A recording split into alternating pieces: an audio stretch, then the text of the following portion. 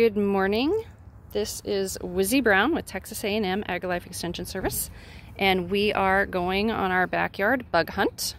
So here I, I have my yucca plant. It's very stabby. Um, but this one, if we look at this, has some scale insects on it.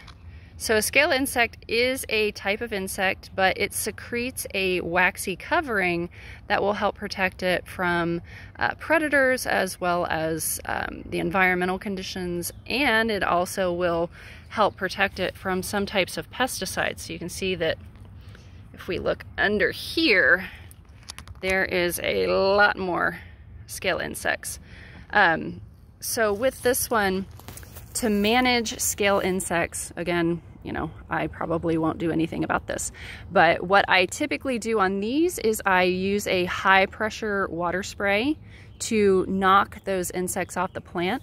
And that can actually work really well on things that are small and soft bodied like scale insects.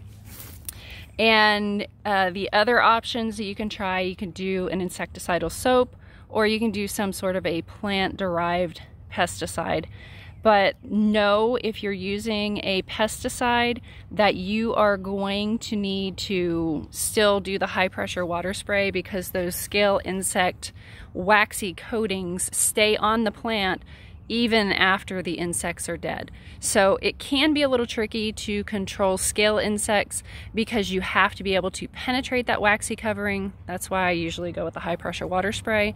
You can use the insecticidal soap because the soap can break through that covering or you can do an oil to smother the insects. The other option would be to use some sort of a systemic that the insect would feed on the plant and get that pesticide to them that way.